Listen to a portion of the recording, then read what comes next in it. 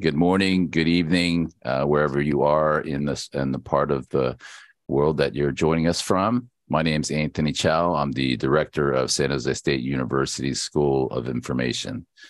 Thank you for joining us and welcome to our celebration and recognition of Asian American, Native Hawaiian, and Pacific Islander History Month. This uh, longer title helps establish uh, some of the immense diversity uh, in our community. Chat is on, so please take a moment to share and chat where you're joining us from. It's always great to see uh, that diversity. It gives me and the iSchool great pleasure to support equity, diversity, and inclusion in all of its beauty and power.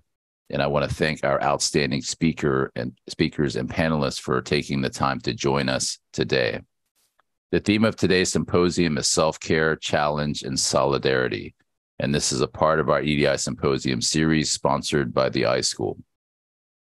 All of our EDI Symposium recordings and transcripts and resources are available in our EDI I library and please subscribe to our brand new EDI YouTube channel. Uh, and uh, uh, Alfredo, if you would mind, just drop that in the in the chat. Uh, you'll that way you can be notified uh, uh, on each of the new EDI symposium recordings and transcripts that we post each month. For today's session, if you have a question, please use the Q&A feature and someone from our distinguished panel will answer it. Also, periodically, we'll make chat available as we have now, and also at the end of the session for additional questions and comments. Today's symposium is, of course, very personal for me.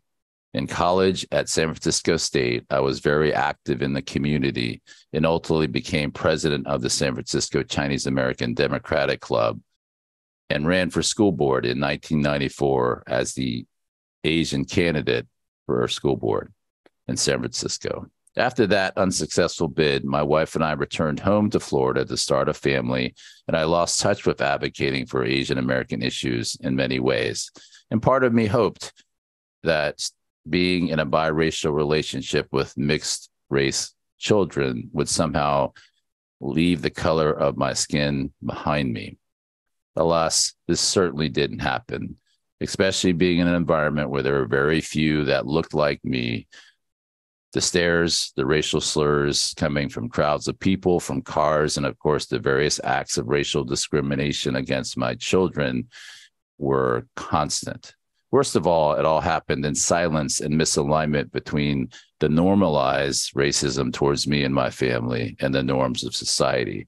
Much of this discrimination and racism occurred in public spaces.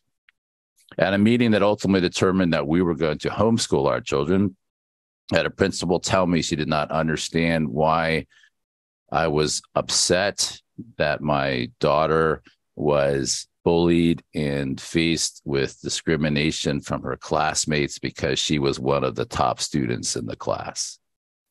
Two years ago, as the pandemic began, our house in North Carolina became a focal point for five instances of teenagers ringing our doorbell at all hours of the day, and leaving nasty notes, trash, rotten eggs on our doorstep. Today, despite the constant reminders by some of our community and the mass media that people that look like me and my children is in some ways not normal. We still have the power to move forward.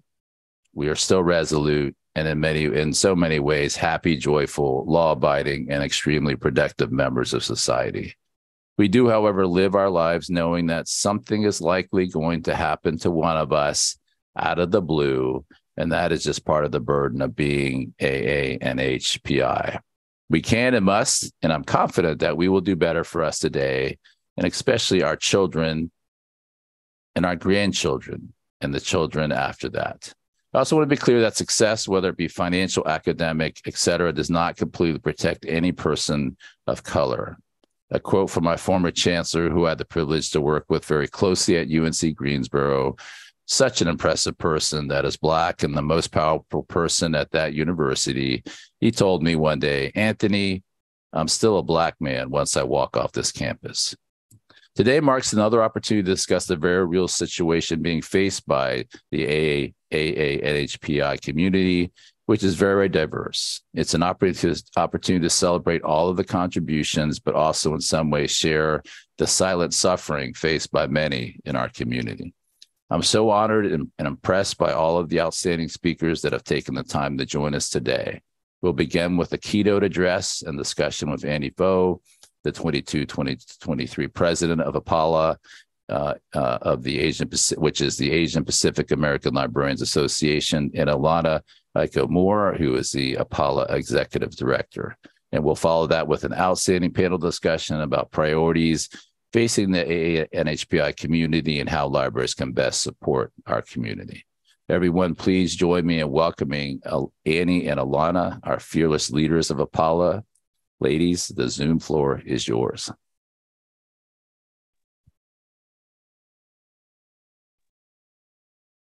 All right. Thank you so much for that wonderful introduction, Anthony. And I know both Annie and myself um, send big hugs for everything you and your family have had to endure.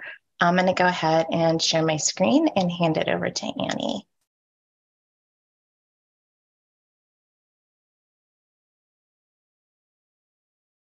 All right. Great.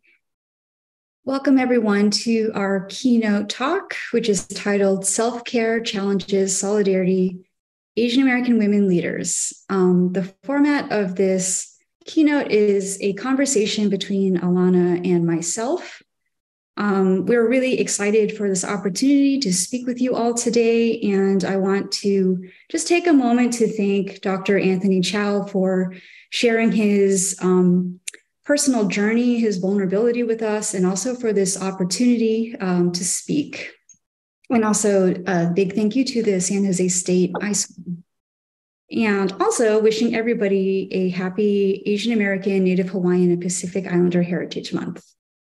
So, with that, we can go ahead and get started. Okay, so it is finally Friday. Um, I know so many of us have been getting through the week, getting through the month. A lot of times um, during May, we have more um, expectations placed upon us or our communities. Um, so I'm very grateful to be here with um, all of you today. And if you want to take a minute and just pop into the Slido, um, how you're doing today, um, would love to love to see slash hear it. it should populate um, if it doesn't populate, I do apologize. It should be working. So it's just in one word, how are you feeling today? Um, I feel excited. Um, and I'm also feeling um, a little bit fatigued. I guess that's two words. Um, how are you doing today, Annie? I'm feeling pretty fired up and also a little bit feeling tired as well. But I think we have a good session up ahead today. Yeah, I think so many of us um, do feel that that exhaustion, that fatigue, that tiredness. Um, also mixed with optimism, right? We definitely need to make the space for for rest and rejuvenation. Um, so thank you so much for um, dropping in how you how you're feeling today and i feel like this is a good way for all of us to know that you know we're not we're not alone in feeling a lot of these things and we are again so grateful to be here today with all of you so we'd like to start today with the land acknowledgement and recognizing that um, the indigenous people who are the original inhabitants of the land that all of us are on were dispossessed of their land through violence, through murder, through deceptive processes and colonialism. And since, um, you know, since these things are often, um, land acknowledgements are often done without action, Annie and I have made a donation today to the National Indigenous Women's Resource Center in support of the land that we are on. And I am situated on Huichin, the unceded Lisjan Ohlone territory, now known as the East Bay in the San Francisco, California area. And I am situated on the ancestral and unceded land of the Kumeyaay people, the traditional caretakers of the land and surrounding ecoscape, past, present, and future. And we've also shared some um, resources in the chat for folks to learn more about whose land you are on.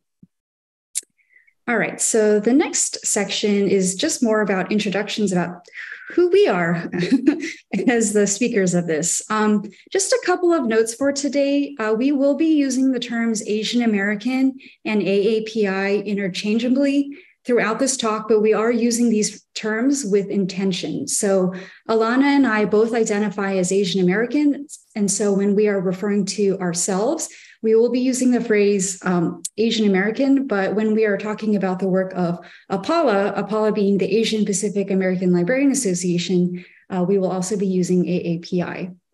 And the reason why we want to be intentional about our language is that sometimes people do use AAPI when they actually mean Asian American.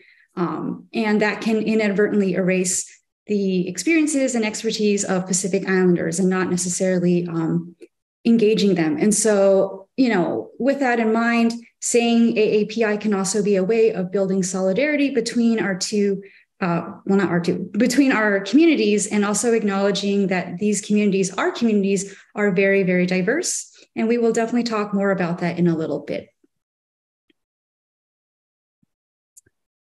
So again, my name is Annie Pho, she, her. I am the uh, current APALA president, and I'm also the head of instruction and outreach at the University of San Francisco. Um, I've been a librarian now for about 10 years, which is pretty wild for me to reflect back on. I don't know how time passes by so quickly. Um, and I've also served on the APALA executive board in a variety of roles before trying on the president hat.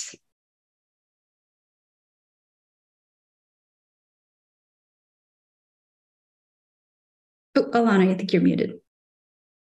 Thank you.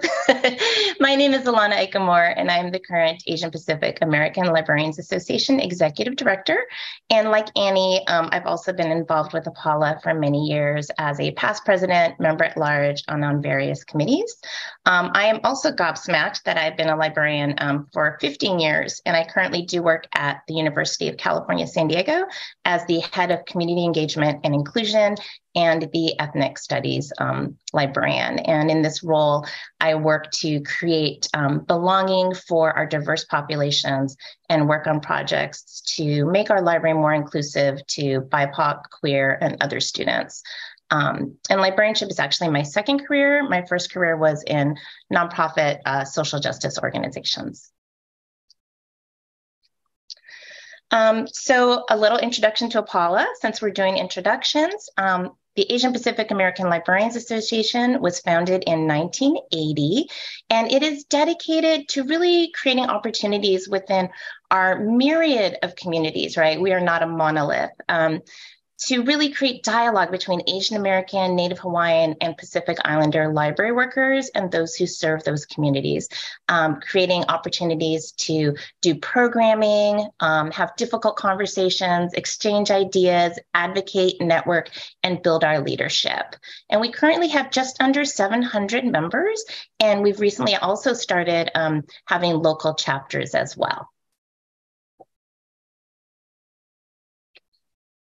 All right, so the next section is just a little bit more about our journeys as leaders. So, yeah, Alana, um, how has your background informed your approach to leadership? Um, thank you so much for that question, Annie. So, a little bit about my background. So, I grew up in Hawaii as a fourth generation mixed race uh, Japanese American. I was a settler and guest on illegally colonized land. And um, that is something that I think a lot of folks who live in Hawaii um, choose not to acknowledge or recognize. And the myriad of folks who go visit or um, engage in tourism um, do not recognize that as well. Um, super important to um, support and give back to the Native and Indigenous people there. Um, I left um, the islands and went to college um, in the continental United States on a scholarship. And while in college, came out as um, bisexual, but I now identify as queer. I am also neurodivergent. I have invisible disabilities um, that impact me kind of on a daily basis. And, you know, I also have quite a bit of privilege. Um, I have the privilege of being light skinned. I have the privilege of being cisgender. I have the privilege of currently being able bodied and middle class. And I have the privilege of, um, despite having huge student loans, I do have the privilege of having gone to college. Um, among all of those identities, um, my f- most important identities are those of a queer parent and as that of a partner to my wonderful trans spouse. And um, this is a photo of us from earlier this month um, on our first trip to Disneyland, which we gave to the kids as a thank you for being so diligent about masking um, throughout the whole of the pandemic and long after many of their classmates had um, long forgone the face covering. Um, and I do show this picture as well to raise visibility and to show that um, there are queer queer Asian parents, there are queer Asian families, and that we we do exist um, and we do procreate and have children, and we are really happy. So this is my definitely my most important um, identity. Um, reflecting on my background and how that informs my leadership. So the picture here is of two lemons.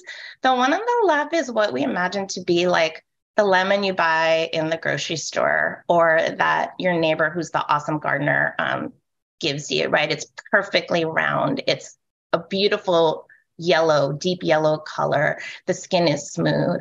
And the lemon on the right is the one that um, grows on the tree in my yard. And in a lot of ways, I feel like this is really on brand because um, you know, this lemon is like got a really thick skin. That it's kind of lumpy. The color's like kind of more like a whitish yellow. And um, to some folks, it may feel like this lemon doesn't belong, right? It's not a lemon. But I have to say, like, you know, as someone holding intersectional identities, I've often struggled with feeling like I was not enough, right? Not enough, um, don't belong, don't fit in. And over time, um, growing into myself, this transformed into a passion to really fight for other people who feel like they didn't belong. And that's how I got involved in um, social justice work in my first career, which I've carried that through librarianship, right? And so, like looking at these lemons, there's not just one way to be a lemon, you know there's not just one way to be a leader there's not just a certain type of person that gets to be a leader someone from a specific race or specific gender that gets to be a leader even if we don't look or act like what people think a leader is um, you know as part of the aapi community we do belong and we have so much to contribute to the profession um, leadership to me is about community. Um, I was raised to care about the community. Um, I was raised with, um, although I am mixed race, raised with a lot of um, in a in a large Japanese family with a lot of traditional Asian values. I was raised to care about the community and the family, and to really notice and call attention to other people's success, and they in turn would lift you up.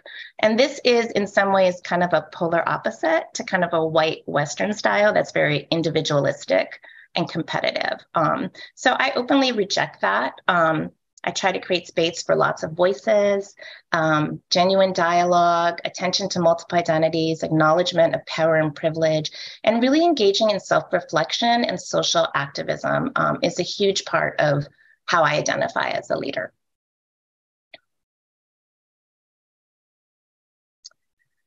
So I'm what about you? Are there any cultural values that inform your leadership?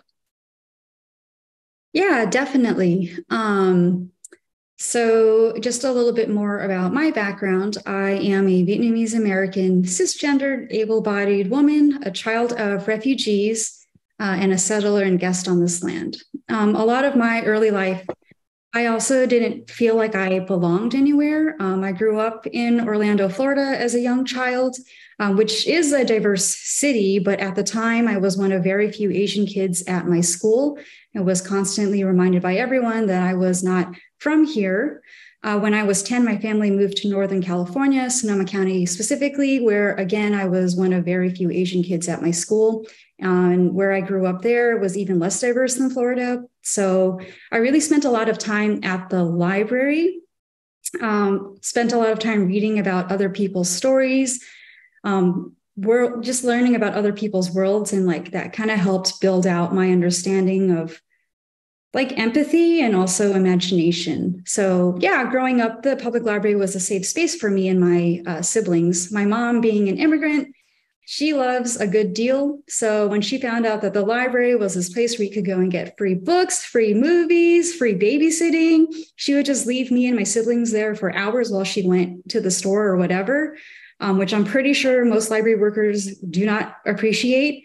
Um, my mom was actually really strict and overprotective. And so I think this is also a testament to how she saw the library as this like place where she could kind of leave us there. Um, but yeah, I mean, spending a lot of time there. This is also where I found a lot of help for my homework assignments. Again, my parents' English is not their first language. And so with my schoolwork and things like that, this was a this particular um, library. This, the picture I'm showing here is actually a picture of the library branch where I would go to when I was a young kid. It actually doesn't exist anymore because they've remodeled, but um, yeah, it was through my time here and also in high school, I volunteered at the same library, which in turn for my free labor, my library fines and my family's library fines were forgiven. So that was like really made my mom happy. Um, but yeah, it was like through this work here that I learned the value of a library to a community and how powerful it is to connect people to information and as, as well as the importance of like a warm space um, where kids can just read and learn and like read to earn free pizzas, for example. But yeah, these are the kinds of things that inspired me to be a librarian. So, other cultural values that inform my work. So, being raised in a Vietnamese household, I very much learned early on that family, community, and mutual aid are really, really important. So, again, my parents are refugees. They came here with nothing in their pocket. And so, this mentality that if somebody has enough money to eat, then you make sure that the resources that you have that you feed everybody else, you help everybody else around you um, that you can help. And so I think those were definitely values that were instilled in me as um, a young person. Um, this picture here is a picture of my parents preparing a Vietnamese style hot pot. Um, as many of you are probably know, it's a communal meal, and um, the Vietnamese style, we like to roll it up into spring rolls too. And I think this kind of says a lot about um, the culture where I was raised. So, you know, this idea that everybody pitches in because you got to do the work so that you can eat.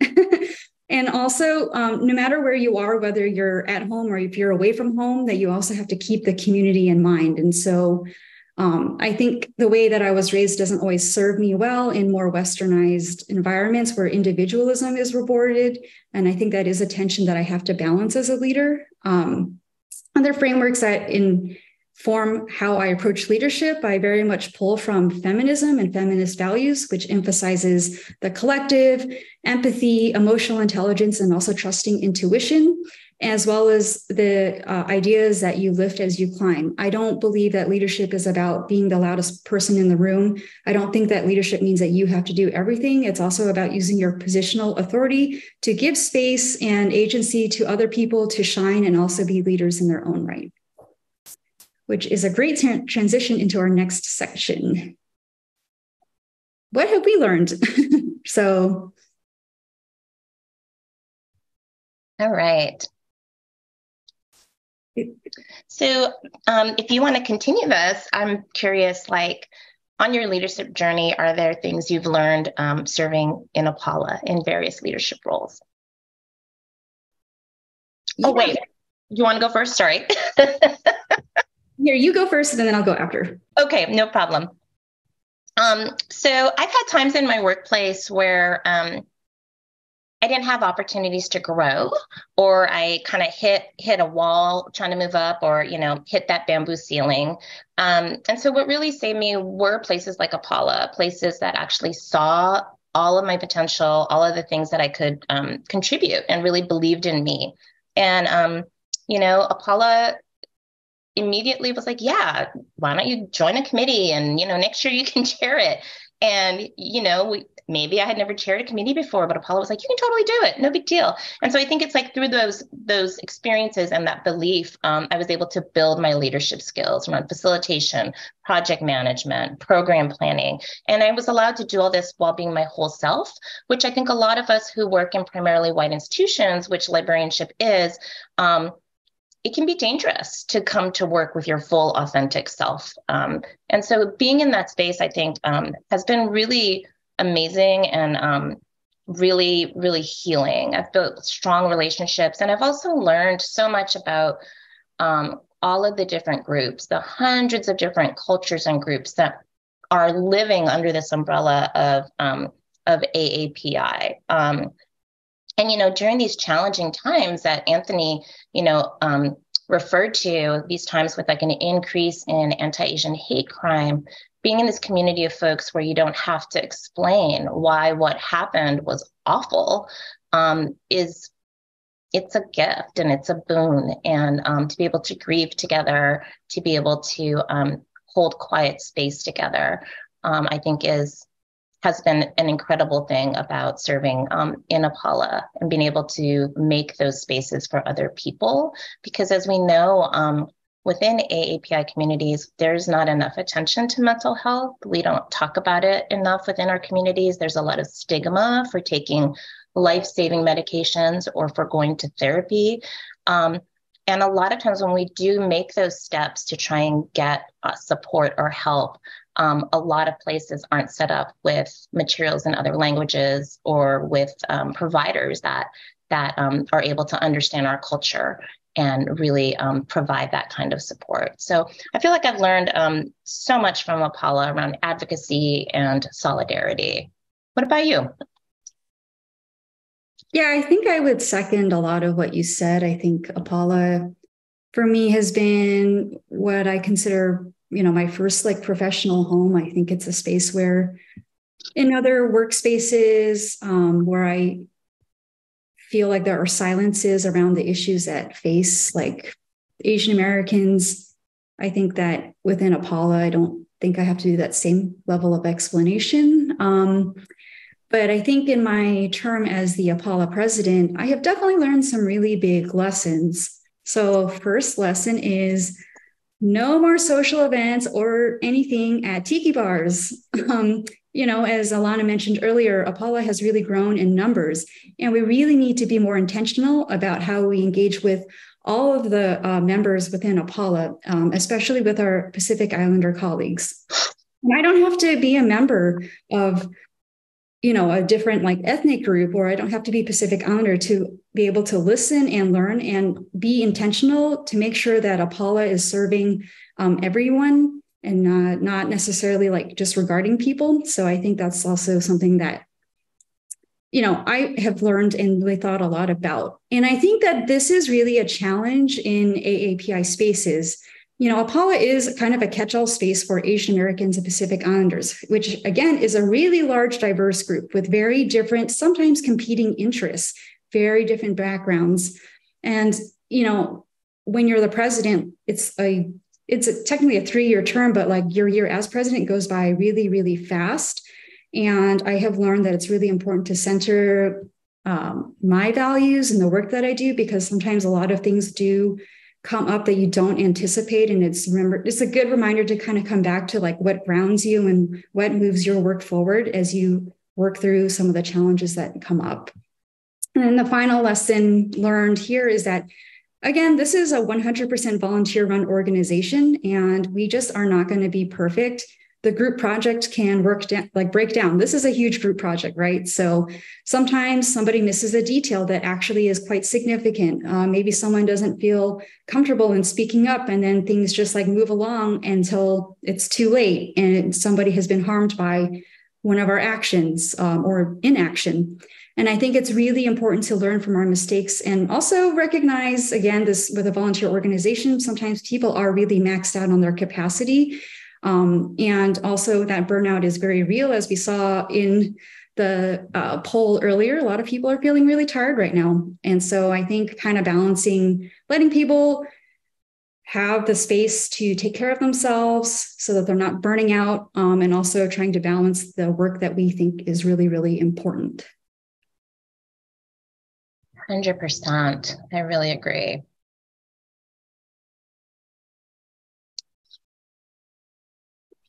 Okay. All right. So the next part is um, more about barriers and challenges.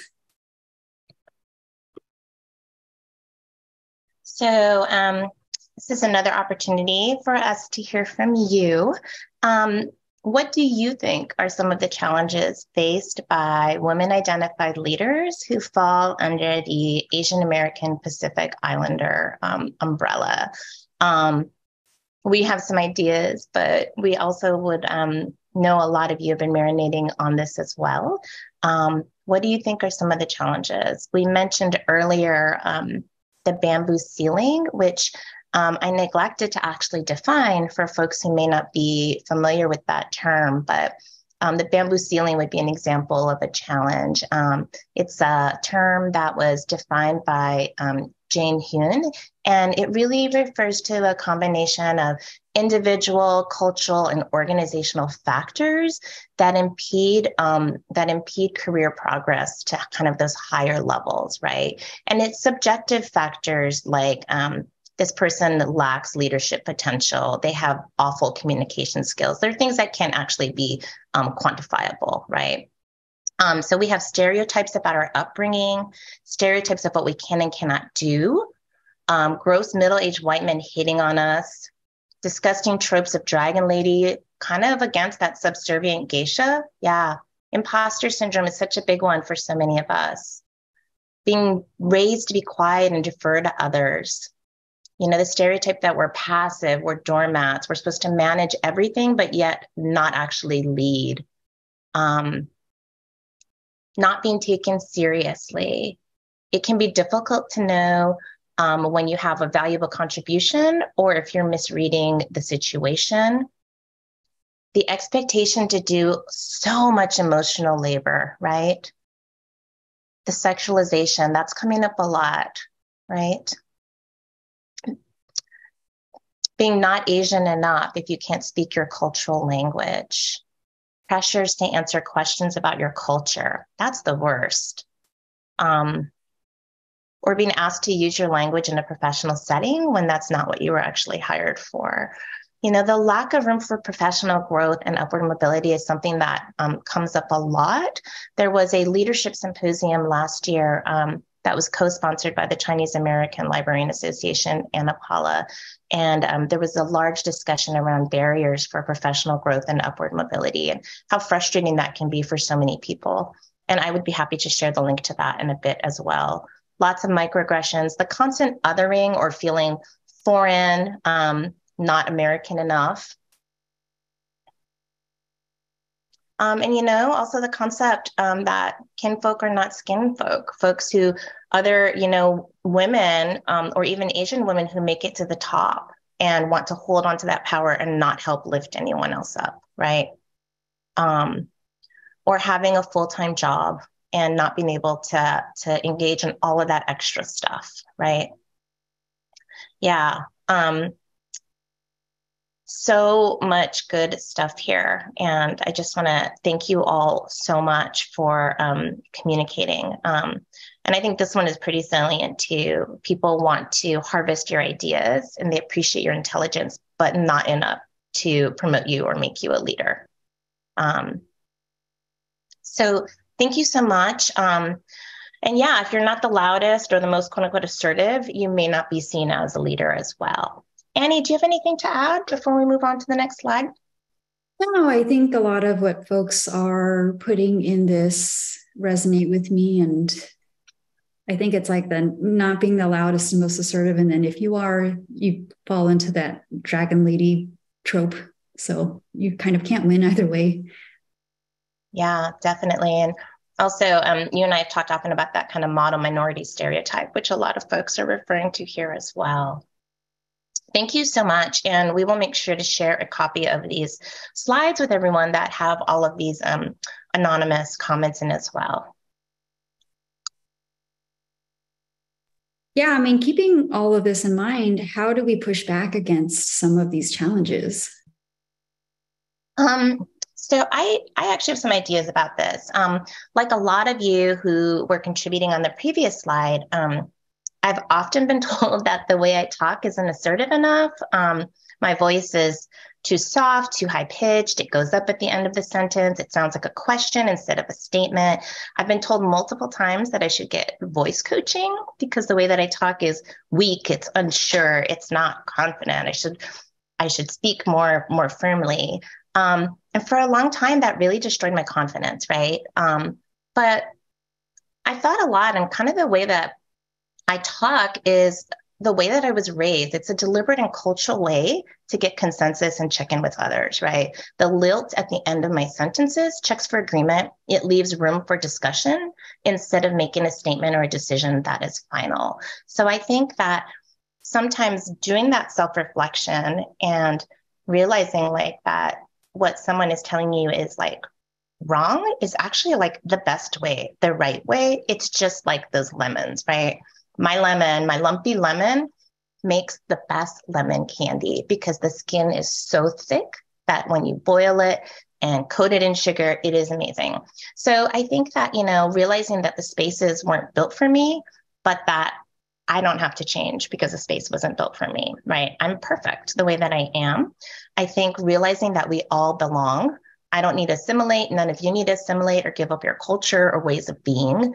Um, and I think what's inspiring to me is seeing so many other Black, Indigenous people of color around me who are choosing to unapologetically be themselves, walk through the world loud and proud, creating space for everyone. And I find that really, really um, inspiring. Um, I think other ways I push back are by finding places to lead, even if it's not my formal workplace, finding balance, um, continuing to learn and grow, realizing that when I make mistakes, when I own them and commit to growing and doing better, it just is, it's the best way to move through the world. And finally, finding joy um, in my daily. So, um, you know, my kids really center me. Um, these beautiful, amazing kids who are you know, children of queer Asian parents who are moving through the world, you know, proud as can be to be our kids. And I think finding that joy um, is is really important. So, Annie, I'm curious for you. Um, you know, reflecting on intersectionality, which has come up a lot in our conversations today, and reflecting on um, what else do you think is at play when we encounter um, these types of barriers and challenges? Yeah, I mean, I was thinking about, you know, what does it mean when people tell you, oh, you shouldn't speak with a lilt at the end of your sentences? I mean, a lot of that is very coded and gendered, right? So, and I think like this conformity towards like what is it like masculinity or whiteness as a like branding that is what's seen as leadership or visionary you know we think this is the kind of thing that we need to like untangle and just touching upon the like model minority stereotype. And a lot of what folks had said just being seen good enough to do the work but not seeing good enough to be a visionary or a leader. And where i think a lot of asian american women get stuck in middle management and not a leader beyond that. I think that very much is, you know, goes back to that bamboo ceiling. And I think that we actually have to say this too that there is a certain way that Asian American women are perceived in the workplace and in this society that is extremely misogynistic, extremely toxic, and harmful. And we have seen evidence of this in the violence and mass shootings and murders of Asian American women over the last couple of years. And so, what do we need to dismantle? I think we need to dismantle white supremacy and its work culture characteristics. And also, while we're at it, um, we can also dismantle the patriarchy because I think these are all of the things that are harming us. And not just us, I mean, this really harms like society in general. But that's a great transition into our next section. 100%. Um, okay, so um, we are going to go just a little bit over time, but I think that's okay. We'll be all right. Um, so self care for Asian American women. Um,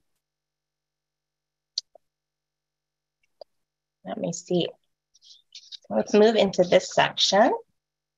And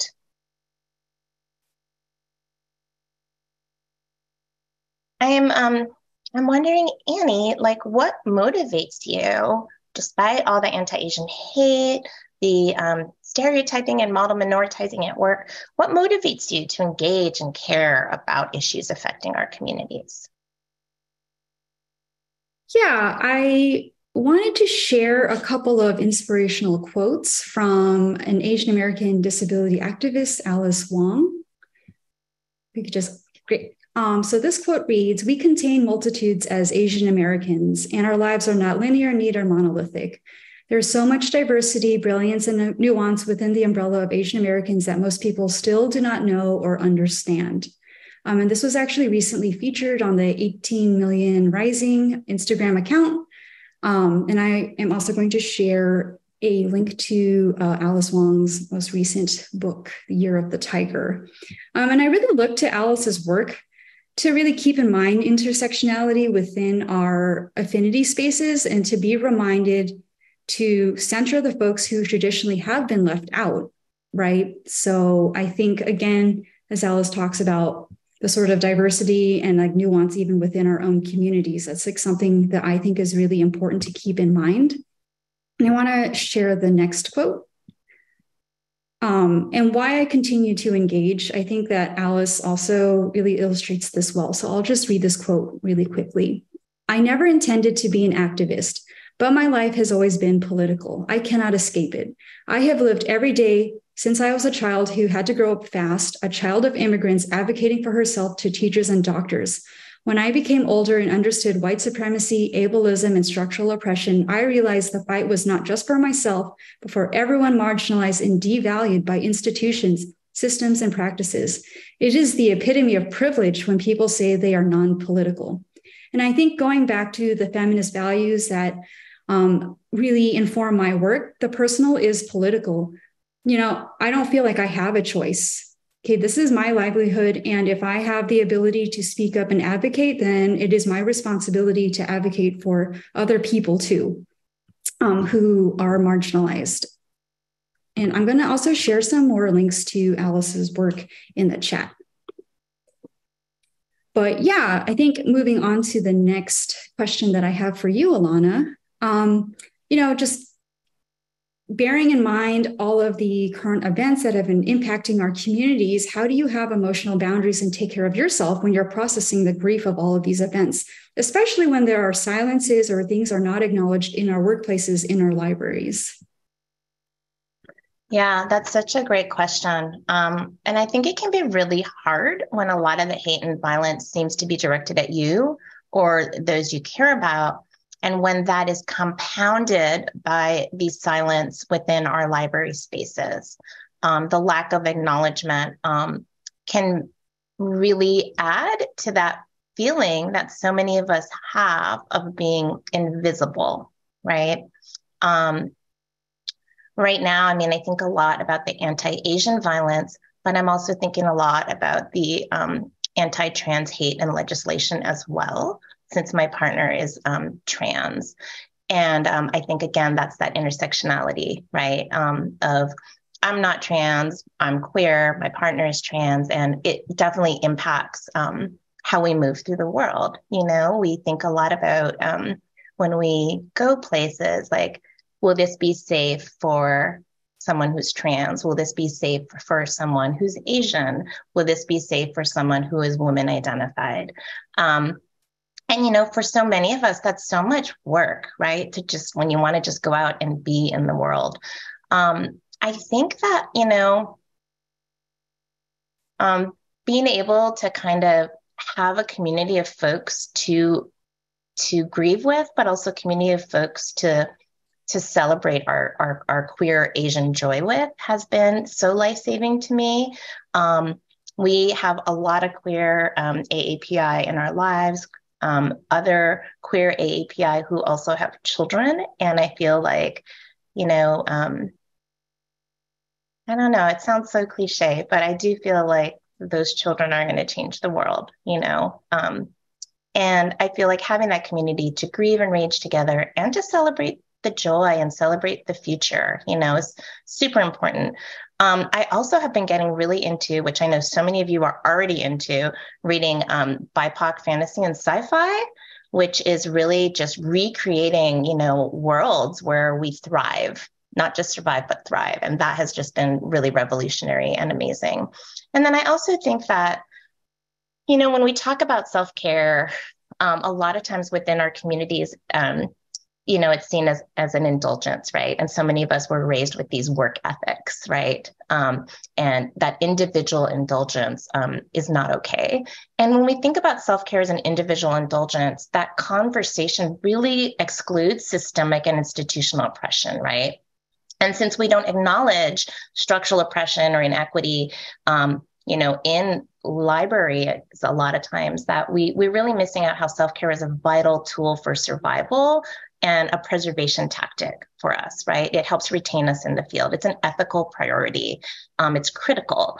Um, and, you know, we are all facing these additional hurdles of racism, microaggressions, tokenism. You know, we're code switching at work. You know, we have racial battle fatigue. And so we need to talk about self care, whatever that looks like for you, right? Maybe it's like, you know, going for a walk. Maybe it's reading sci fi. You know, the other day I sat in my kids' waiting pool um because it was sunny and no one was home and i pretended i was at a fancy resort. Um, whatever that looks like to you we really need to kind of re- remove that stigma of taking care of ourselves because i can't fill up anybody else's cup if my cup is empty.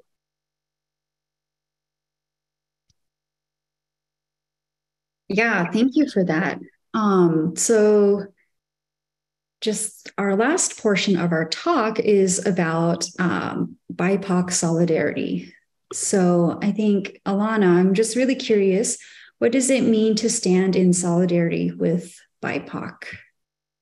Um, I could talk about this for an hour, but I'll wrap it up in a minute. Um, so, as many folks may know, APALA is just one of six national associations of librarians of color.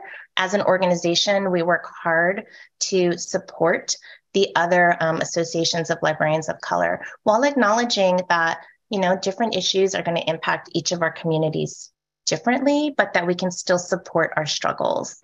I also think it's something to allude to something Annie said earlier within our own APALA umbrella, our own AAPI um, community. You know, we're not a monolith. How can I stand with folks within our community um, who who have different struggles than you know folks from you know, East Asia or folks who have more privilege, like folks who are multiracial and what have you. Um, how can we all together work towards anti racism and dismantling um, white supremacy um, in our libraries? You know, we are definitely stronger together than we are separately.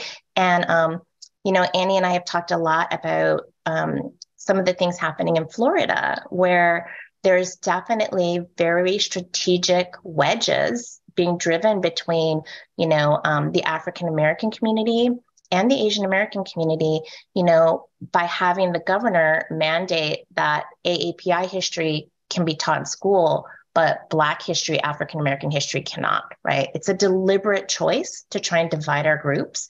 And I think we need to be more strategic and use all of our intelligence and smarts to really just like say, no, like that's not what's happening, right? we are definitely stronger together.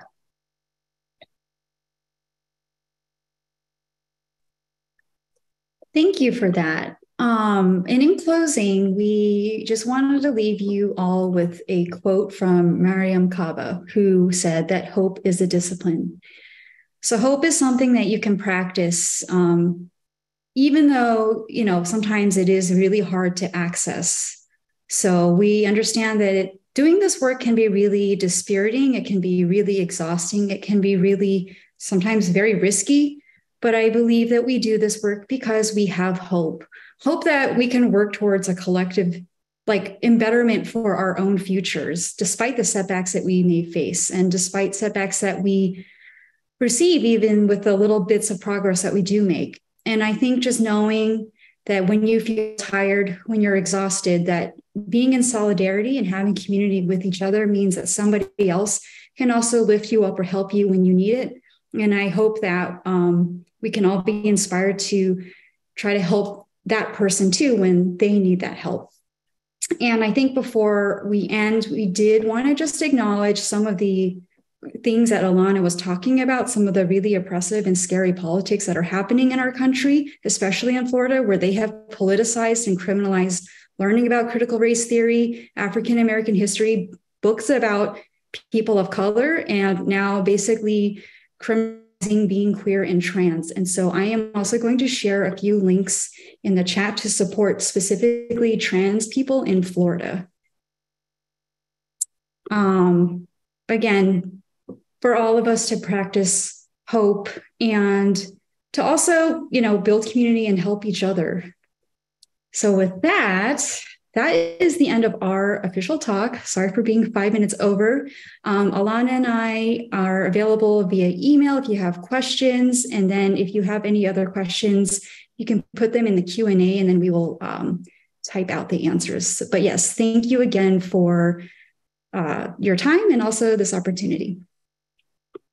Thank you so much, Annie and Alana. Um, such words of wisdom. Thank you for the courage to share all that you've learned, all of your experience, so many great ideas, and cool use of technology. Uh, I love the dynamic uh, word clouds and and bringing us into your your discussion. So we do have time uh, for some questions. So uh, let's open it up uh, to questions. Uh, so feel free to use the Q and A. Um,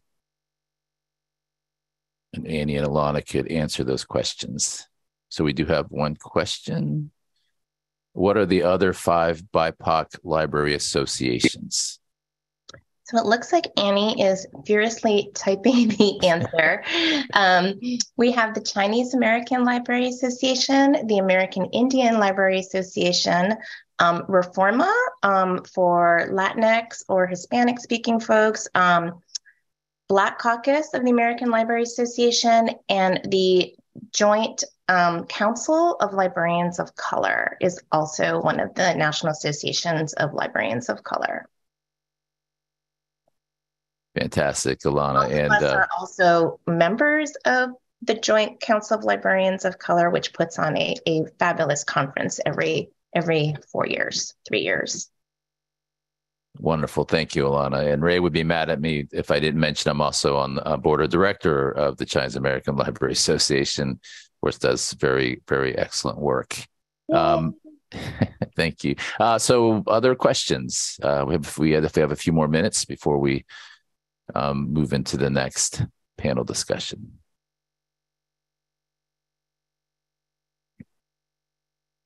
Okay, well, so um, let's see. So we have a comment, especially as leaders, how do you distinguish between knowing when you may be misreading a situation and when you're simply reading a situation from your own othered lens? Um, I think that's a good question. I think, I mean, we didn't really touch on like microaggressions, but I think when you spend your whole life feeling othered, I think it's easy to have doubts about how you're perceiving a particular situation. And I think that's where having a peer or a friend that you can run something by just to say, oh, hey, this is what's going on. Like, am I perceiving this this way? Or is this actually what I think it is? And I think just getting that validation. But I, I mean, the other part of this too is like, you know, because we are socialized and you know, normalizing microaggressions and things like that. I think that self-doubt is just ever present. And that's something that not not all people have to experience that. It's just something in particular that I think people of color have to face, especially um, in our field. So that's just one thing that I know I do. I don't know, Alana, if you have anything to add there. Yeah, I would definitely say um, having other people you can call up and be like, so this thing happened. Um, and they can say, no, that was really messed up. You're not imagining it because I think a lot of times it can make you feel bananas when you are being microaggressed or othered on a daily basis. It can make you, it can skew your sense of reality, right? And you can start to doubt yourself and your own intuition. I think a lot of times when you are reading a situation a certain way, it's that way. and um, like Annie said, um, you know, being told by other folks like that's not really what happened or you're overreacting um, it can cause you to doubt yourself as well. Um, so i think having having folks that you can ask and i also just i really believe in in trusting your own intuition. And you know i say that knowing that it took me years to actually get to a place where i could actually hear that voice and listen to it um, because there's so much outside noise telling you that you're not enough or you don't belong Excellent, Alana. Okay, well, why don't we go ahead and move on to the uh, next panel discussion? Uh, just delighted again for the amazing uh, leaders that have uh, stepped to the plate to discuss and share uh, their uh, experience. so we have um, three amazing panelists Patty Wong, Uh, former ALA president, and of course, uh, many other things. So she will share with you. Terry Park with the uh, Asian American Foundation, and of course, also a lot of other amazing experience. And Lily Chen, uh, former partner in crime with me in North Carolina, and fellow rabble rouser, who will also share with you her experience, and also is expecting a grandbaby anytime now. Apparently, Lily, uh, and so congratulations uh, on that. So let's go ahead and jump into our panel discussion. So let's start with could you please provide a brief bio of yourself and why you felt it was important to join today's panel discussion in recognition of Asian American Native Hawaiian Pacific Islander Month? Uh, and let's start with Lily. Thank you so much, Anthony, for inviting me. I am super excited about this conversation. Um, uh, to this month, uh, obviously, is a a um, NHMPI month also is a mental health awareness month, uh, nurses month. And let me just say, of course, we just celebrated Mother's Day, right? So belated uh, happy Mother's Day to all and grandmothers. Um, today, I think I um, this is related to the uh, Asian American history education. Um, I think that the role that I play primarily is as a mother of five children and soon to be a grandmother of two, uh, as well as a youth mental health advocate. So uh, I'm also a nurse educator, as you alluded to. So I'm a um, nurse faculty member at North Carolina Central University and a community organizer. Um, yeah, that's about me. Thank you. Thank you, Lily. Uh, Terry, Patty? Terry, do you want to go first? Or? Um, sure. Uh, so my name is Terry Park. I'm the Education and Narrative Change Program Officer at the Asian American Foundation. Uh, TAF has been around for about two years, so we're a new foundation. And uh, the work that I do uh, oversees uh, two pillars. So in education, uh, where uh, advancing K through 12 uh, API history uh, in as many states as possible, as well as building a network of professional development providers to share high quality curriculum to as many educators, including teachers, to deliver that AAPI history in K through 12 classrooms, as well as supporting higher ed efforts. So uh, trying to build up Asian American and Pacific Islander studies programs in the US. And that's more of my background. Uh, I was a professor of Asian American studies for about eight years. Uh, I was a teaching focused professor in about eight institutions across the US, from Ohio to uh, Massachusetts, and most recently, the University of Maryland College Park, uh, where I was a faculty member in their Asian American Studies program. So um, yeah, higher ed is uh, and education in gen- general is uh, a deep passion of mine. Something I've been doing for a, a, while. And then I also oversee our narrative change pillar. So that's the other side, the other identity that I hold. Uh, before academia, I was an actor, uh, performance artist. Um, I did a solo show off Broadway that explored my Korean American identity, uh, second generation Korean Korean American identity uh, as someone who grew up in Salt Lake City, Utah, and how that identity was shaped by my parents' experiences during and after the Korean War. And so it addressed issues of intergenerational trauma, uh, war, uh, and race. And so a lot of those topics and themes informed my academic work. And so, yeah, I'm really excited to be here, really honored to be with the panelists as well as the speakers. I just want to say that was an incredible, incredible talk and uh, really for me modeled uh, a, a, kind of a feminist presentation where it's not just one person talking to an audience. I love the dialogical aspect of it how interactive it was. Um, so yeah uh, really excited to be here. And uh, i live uh, on uh, ohlone territory otherwise known as oakland california. Thank you. And i'll kick it over to patty Thanks, Terry. Uh, that was great. Actually, I think one of the things that brings us all together is is our continual learning from one another about not only the diversity of communities that we live and serve, but who who we are and how much we have to share together. Um, I identify as third generation Californian, Chinese American with roots in Hawaii. Um, I've been a librarian for 39 years now. And I think um, all my entire professional career and probably my life has been based on on identity and um, and communication and how to share the richness of that um, and not be defensive about everything. Um, but I, I have been the first in so many things in so many communities. Um, I currently serve as the um, as a city librarian for Santa Clara City Library. So, and I'm very proud of the fact that actually we're about 42% Asian here. And there's the reason, that's part of the reason why I wanted to come up to serve in this community. Um, one of my critical roles, as as uh, Anthony mentioned, has been that I am the first Asian American president of the American Library Association, and that is the first in over 150 years. So that's a um, not a tall order, but I think part of the reason why um, so many of our the great articulation of of our five uh, national associations of librarians of color and um, the joint Con- um, council of librarians of color is because ALA did not look like us and continues to not necessarily look like us. Um, it's precisely because of that precedent about why I'm here um, I have been both reviled and appreciated because of who I am.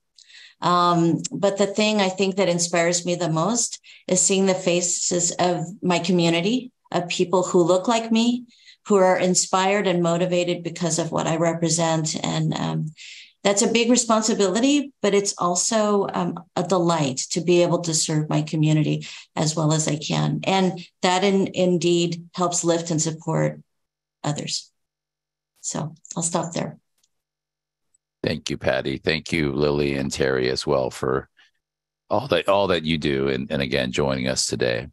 So the next um, discussion topic is, in many ways, the model minority myth. So the traditional stereotype is that members of the AA and NHPI community are all highly educated, affluent, in general don't need as much help as the other upper rep, underrepresented minorities. So let's discuss your thoughts about this, and what we'll start with Terry. Yeah, so I mean, I think in you know a lot of ways, um, Alana and and Annie addressed this topic uh, in their talk. Um, the ways that, well, first of all, how you know there are certain privileges in certain segments of the Asian American community. And I think we, you know, need to uh, recognize those privileges. So, for example, for me, uh, I'm a cisgender man. Uh, I'm East Asian American, Korean American. I come from a middle to upper middle class uh, household. I grew up partly in San Jose, actually, uh, before my family decided to move to Salt Lake City, Utah for some reason. Um, but yeah, in a lot of ways, my upbringing uh, exemplifies the model minority myth, right? We did have some class privilege. Um, at the same time, that doesn't inoculate us from other kinds of discrimination. Um, you know, Anthony, you shared some of your stories, your vulnerabilities. Um, for me, I have a memory of being five or six years old in San Jose, um, waiting for my mother, my immigrant Korean mother, to pick me up from school. Um, and I remember as she approached me, she called my name out. Um, and she's not a fluent English speaker. And I remember seeing a couple of white kids nearby laugh at my mother. And even as a five year old, six year old, I knew exactly why, why they were mocking my mother uh, and it just it just shattered me. And in that moment, I learned that my mother was not normal, uh, did not belong to San Jose, to California, to the US. And by extension, I didn't belong. And so I think one of the insidious parts of white supremacy, no matter uh, your class level, ethnic background, is it can, uh, those ideals of who should belong can be internalized to the point where you decide to hate your own mother. And that's what I learned to do. Uh, I think from that point on, and especially in Salt Lake City, Utah, which is predominantly white, predominantly conservative, predominantly Mormon, uh, I understood uh, that my belonging was contingent on whiteness and, and uh, my entrance into whiteness, which I tried so hard to do, constantly knocking on the door of whiteness. Um, and I just, and I couldn't gain admission. And I remember blaming my mother for that reason. Right. So, um, yeah, I mean, I just wanted to share that personal story and also recognize that there are uh, significant significant communities within the AAPI umbrella that do not match the model minority myth, that are not crazy rich Asians, that aren't going to the Harvards and Stanfords and MITs, uh, that do not have intergenerational wealth. And so I think we need to uh, highlight how the model minority myth is exactly that, right? For especially Southeast Asians, uh, refugee communities, certain pockets of South Asians, excuse me, as well as certain East Asian Americans, right? In New York City, the group that experiences the highest poverty rate are Chinese Americans. So I think we need to disaggregate the data and have a more complex understanding of the inequities within the AAPI community so we can have these tough conversations on our privileges and uh, on uh, the power imbalances. Thank you, Terry. And I think you just reiterated why um, shallow labels really are incorrect and invalid right? And and and I think we I appreciate you sharing that as well, uh, your experience, Terry. Uh, uh, Lily, uh, Patty. Yeah, um, Terry, thank you so much for sharing your experience as a as a mother, right? As I alluded before, um, as an immigrant from China, um, as a graduate student, so what I experienced was that I didn't know what was going on with my children when they were uh, microaggression, uh, even bullying bully. Uh, one of my children has been bullied for 10 years. I didn't even know because uh, I didn't grow up here and I didn't experience, I didn't have these experiences. So as an immigrant, uh, first generation uh, parents, um, we didn't know what was going on with our children. And and that uh, because of that experience they have and that i'm i can share later on and they have impact on their mental health i also work as a school nurse for over 10 years. So i saw um, i remember one incident i worked in high school um, that one of the children asian children um, got caught with using drugs he was just shaking uncontrollably, shaking uncontrollably. And we haven't said anything yet in the health office. So finally say he goes, you know, my parents are going to kill me. Um, because the expectation of the model minority perpetuate, uh, internalize uh, on them that they are, even though her parents might not be part of their parents, we love our children the best we could, right? but it's just the expectation and of of the model minority myth internalized on them, and, and he realized how these um, incidents is going to affect him.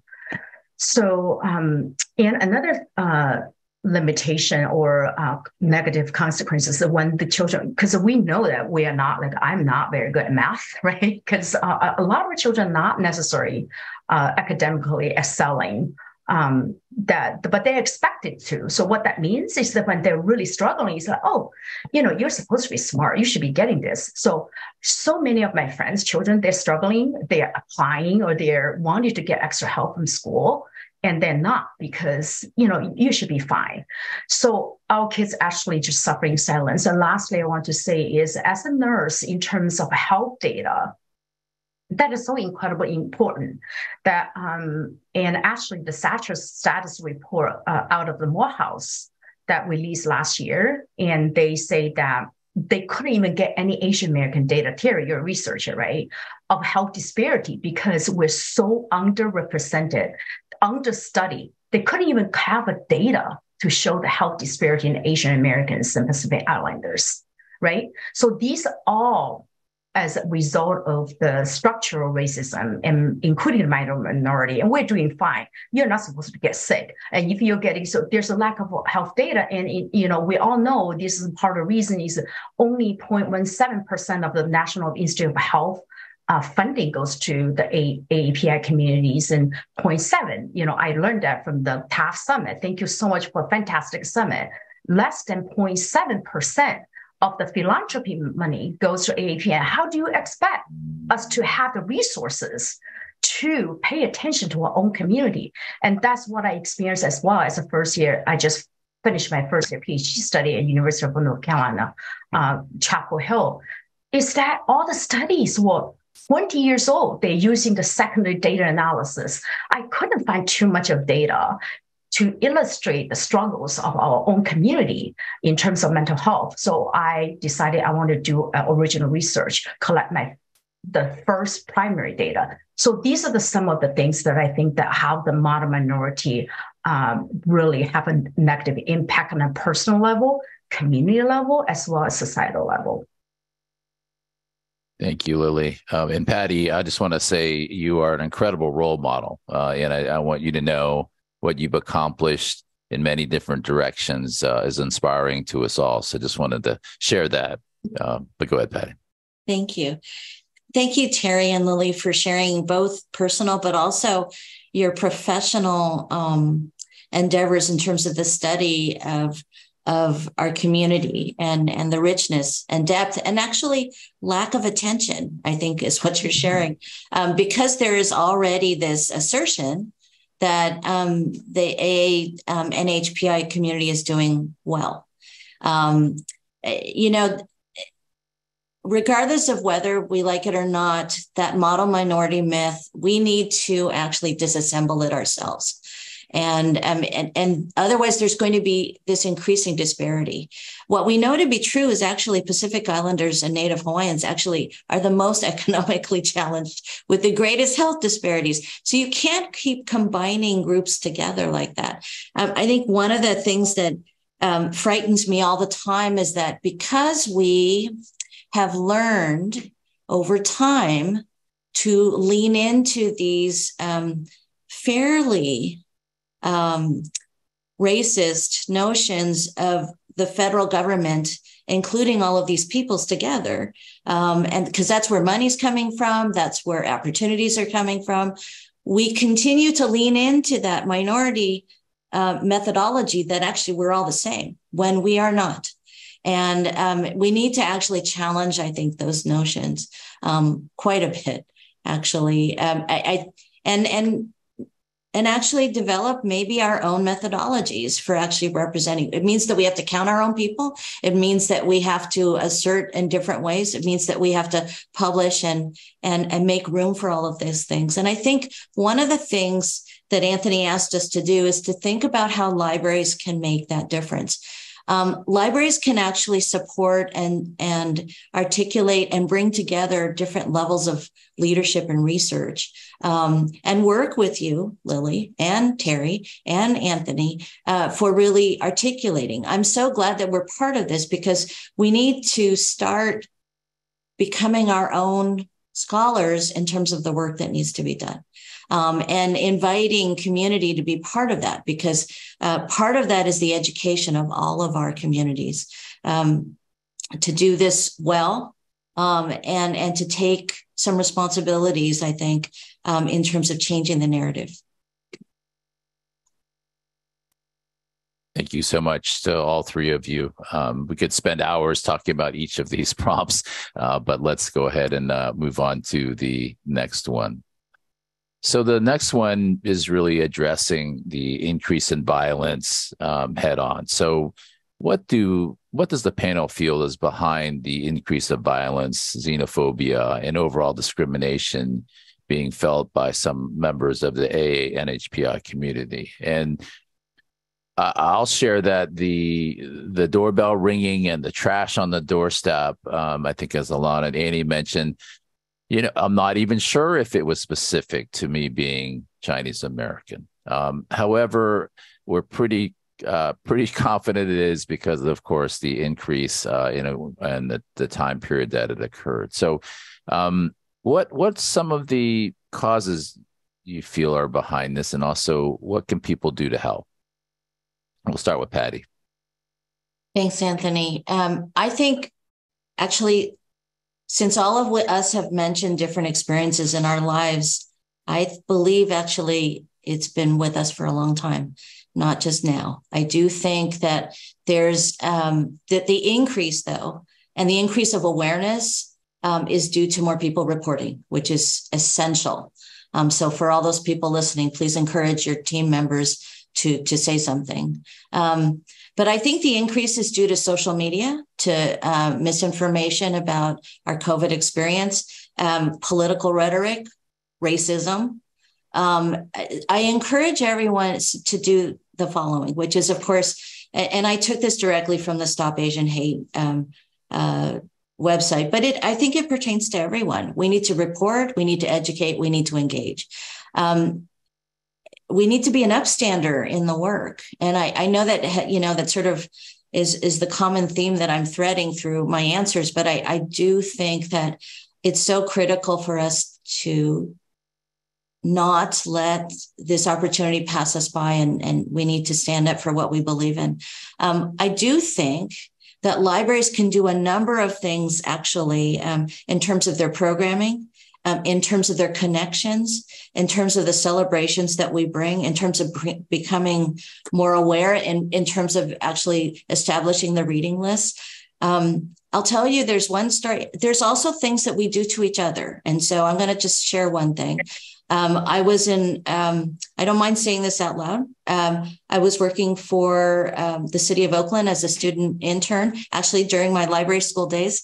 And um, a wonderful teacher from our local immersion Chinese school came to me and said, I want a list of all of the great Chinese American and, and Asian American books for kids because they're not able to see themselves. And I said, fantastic.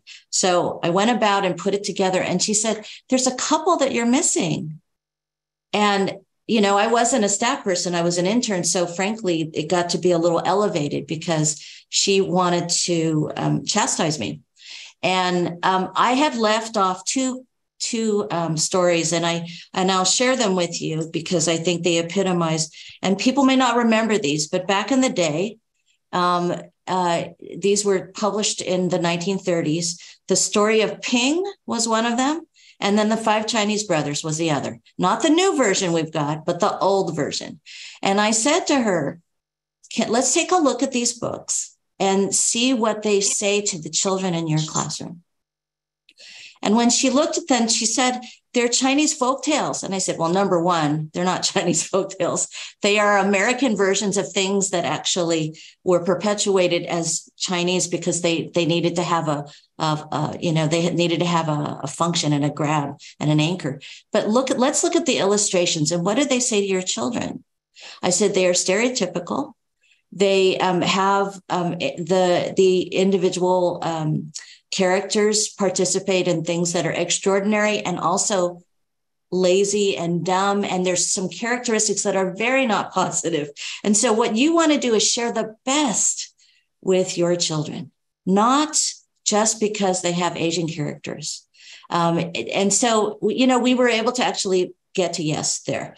Uh, but what I'm sharing with you is that sometimes we need to take that time to educate even the people who are closest to us in the field um, because we don't all grow up and we don't we, we're all learning together so um, i share that with you as how libraries and library staff can make a difference in the choices that they make in the dialogues that they present um, in the programs that we can share because one group uplifts others so um, anyway i'll stop there i know the others have a lot of great things to share thank you patty lily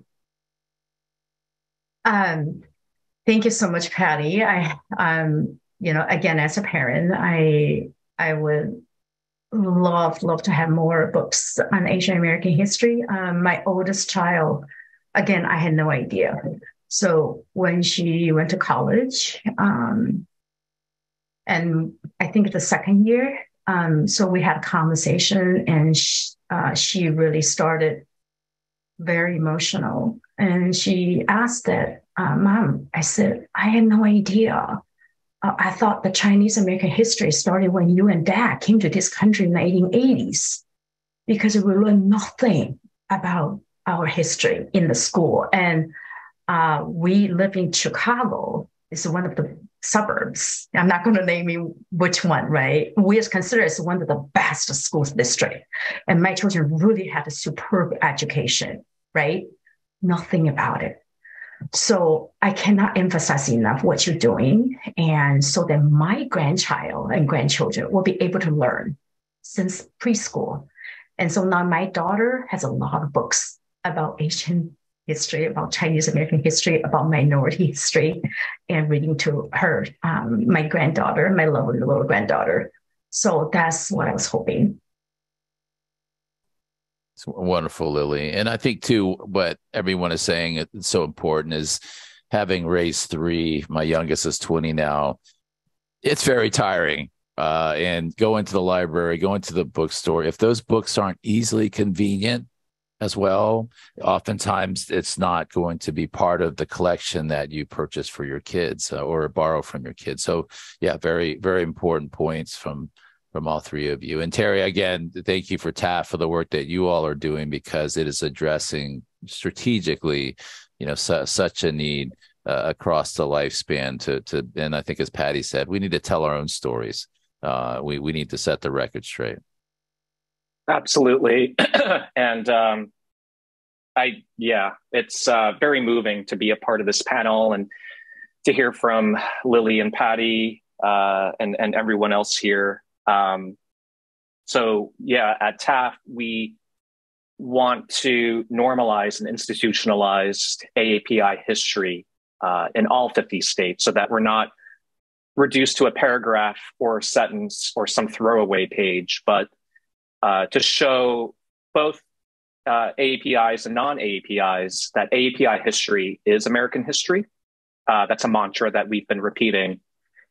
And I would go even further than that. I feel like that's not enough. I, uh, I would want to also emphasize that AAPI history is intrinsically a part of Black history, Latinx history, uh, Native American history, LGBTQ plus history, that these histories uh, cannot and are not uh, segregated, but that they are deeply uh, intertwined and intersectional. And so we we cannot lift up our own communities without working in solidarity in coalition uh, with other communities um, in order to combat the divisive nature of the bottom minority myth.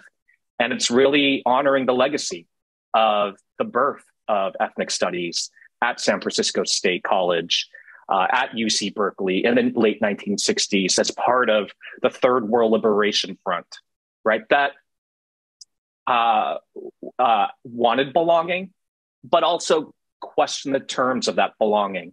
And so uh, I think that's something I think we need to do, right? We should assert our belonging, but also at the same time redefining what are we belonging to um, uh, Lily mentioned that we had a summit a few weeks ago in New York City, and uh, among the many great panels, we had one on the STAATUS Index report. And I highly recommend folks uh, check out our website, check out the STAATUS Index report.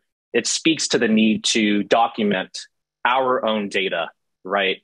Um, and uh, one of the panelists, uh, Paul Watanabe, a great professor at UMass Boston, um, along with Russell Jeung, who co-founded Stop AAPI Hate, you know, they both said, you know, we live in a country of mass incarceration, mass deportation, and so uh, if that's what we want to belong to, then maybe I want to remain a perpetual foreigner, right? It was a pretty I think, disruptive and radical statement, but I think it's something that we, we really need to reckon with, right? Not just simply assimilate into a society riven with inequities, but to transform those inequities so that America is a place of belonging for all of us and not just for some of us. Um, and so that's what we're aiming to do in our education work at TAF. I think, um, you know, that's our North Star. Uh, and um, yeah, I'll just, I'll just end it there. And uh, let me let me just uh, I guess concluding thought on this topic is that the the cup half full is that I think because of the increase in violence and xenophobia, so many of us are now pushing back and refusing to re- remain silent uh, any longer. And I think that as Patty well stated, it was there all along. And to be candid, we know that these acts of violence uh, are just a tip of the iceberg, and it does reflect, unfortunately, how some of our uh, neighbors, uh, et cetera, think about us, right? And so I think the one positive, many positive, but one of the biggest positives is we're having this conversation now. TAF was formed, and we're just not going to be silent any longer, right? And I think that um, I'm, I'm very excited about the possibilities uh, that we we have for Lily's great great grandchildren, hopefully mine at some point as well. So thank you. Um, now let's talk about mental health. So mental health, of course, is a, a challenge, an issue in all communities. Um, but I think it is also as part of the model minority myth and also uh, part of uh, some of the culture of uh, uh, some, uh, some of the ethnic groups at AA, AA and HPI. So let's talk about mental health. So mental health is also starting to become more of a discussion in our community. What are some of the issues around mental health being faced by members of the AA and HPI community? Uh, and let's start with uh, Lily. Thank you, Anthony. Uh, I'm so um, glad we're finally talking about something I'm so passionate about. Um, so as we talk about model, model minority myth, right? Uh, we talk about history. We talk about um, the um, underrepresentation in our community, and what that does to our uh, health or mental health. You know, you can't have health without the mental health, right? This is part of wellness is that we um, we have increased mental health crisis across the board, but especially in AAPI community because of the factors I we just have collectively addressed. The issue is that facing our community is that I think it's awesome. We talk about anti-Asian hate. We break the silence like situations right like right now, and we share our stories, recognize intersectionality of our community as a whole. What we haven't talked much about, even with TAFs, just allow me to be honest, and even with a lot of organizations that we have not talked about healing and the effects of these anti-Asian hate, these horrible things happen to us, how that affect to our health and mental health. And racism is a strong predictor, one of the strongest predictor of mental health. We know that our, our community is suffering and our kids are suffering. Then we did a, a, national survey at the Chinese American Convention uh, 2022 that I'm part of United Chinese American, this national coalition for Chinese American organizations dedicated to civic engagement, youth development, and heritage sharing, right? So we had the national convention in DC la- last year that we did a survey about. It's not like a task, a status report, right? But it is something, it's still data that 43 of our children, of the youth, that experience mental health symptoms. And majority experience um, experience of microaggression racism is very consistent with the national data, whether it be the status report or committee 100 that came out. But I haven't seen much about the solution and about the resources dedicated. We know that that's a problem and it's intuitively know that. But what about the resources that dedicated to improve the mental health of our children, our youth, right? I have, I think this is one of the biggest challenge. And uh, piggyback on what I have shared before, that we don't have enough resources from the mainstream, the NIH or the philanthropy, right? So I think this is the biggest challenge, but we can't. Suicide is the leading cause of death in Asian American youth 15 to 24, yet Asian Americans are three times less likely to seek mental health services than white. And lagging behind all minority groups, we, you have you know that we know that we are a community. We're trying to save face with culture barriers. We have language barriers. We have a provider mismatch. Even though when we get help, and then we don't perceive as helpful. So we have these suicide leading cause with less likely help. What is left? for the community members. We cannot just wait until the bilingual providers are being trained and or the mainstream providers are being having the training about culture sensitivity training all that as a community organization that's my most important hat as an advocate we must do something to help our kids because of this gap so i don't want to just leave you guys or leave the audience with this green the outlook of the mental health, but I wanted to share with you that I think a lot of community organizations, including NAMI Chinese, including UCA WAVE, that I'm the project director for um, WAVE stands for Wellness, Advocacy, Voices, Education, and Support. That I just have a keynote speech at the city of Chandler, in Arizona, on how we operationalize WAVES. That we did mental health aid training. We overcame so much barriers um, we got federal funding from the SAMHSA, and we are making a documentary film about Asian Americans' families' experience of mental health. We have Chinese American families, we have families and community from LGBTQ, we have families from the Sikh community. It was just so empowering, so empowering to hear the collective trauma that we often experience at the same time and realize we just cannot sit and wait. Everybody can do something about it. For the parents and for all of the people in the audience, and simply as a parent, would just say, How are your children doing? How are you feeling? How's your school life? Simple things like that, just active listening, empathetic listening. They don't need you to be their teacher. They need you to love them, right? As an advocate, TAF or Anthony, all of you here, we just need to advocate for more resources. We have a bigger pie so that all of us can get the resources. And so, anyway, um, I can talk forever. You can tell, but I'm going to stop right there. I just really what you're doing here and what what what conversation here is really allowing me to have a voice to advocate for our community, and then we need to continue to do that.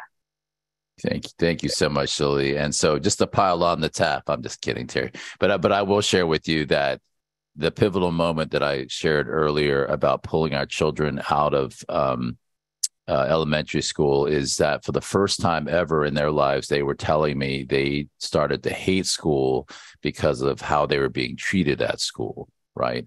And my conversation with the principal convinced me that I had to pull them out of school because all she was talking about was academic performance, right? And so they were not understanding the fact that uh, a, being Asian American or BIPOC uh, came with other issues, right? And that's why, and to be candid, I think that's why a lot of other people homeschool as well because there's that disconnect. It's it's it need, and so I just want to throw that out there, Terry. I think building on what Lily said, even if you're doing well in school, there are other issues, right? Uh, and of course, as parents, we love our children. It's not just academic success only, it's that they're happy and healthy and they're not coming home telling us that what's wrong with being Asian, right? So, anyway, but Terry, Patty? Uh, yeah, I just really appreciate this conversation and uh, the expertise. Lily, thank you so much um, for lifting up the challenges of uh, mental health within our communities. And I think we can all do better, uh, both uh, AAPIs and non AAPIs, to not just advocate for more resources, but culturally competent resources because you know, as a former educator, former professor, I had lots of students come to my office hours uh, because they didn't trust the counselors at their uh, campus clinic uh, because they weren't trained to understand the specific needs and histories, challenges of uh, of Asian Americans, and so a lot of us professors became uh, are uh, de facto therapists, and that's not our job. That I can't I can't hold enough space for my students as much as I uh, would want to. So we need uh, those tailored resources, right? And I think we can all advocate uh, for those resources at our campuses, uh, at, our communities.